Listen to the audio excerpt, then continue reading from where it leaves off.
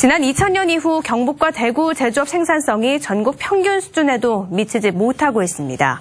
한국은행 대구 경북본부에 따르면 2000년에서 2017년 지역 제조업 생산성의 연평균 증가율은 대구 1.4%, 경북 1.6%로 전국 평균 1.9%를 밑돌았습니다.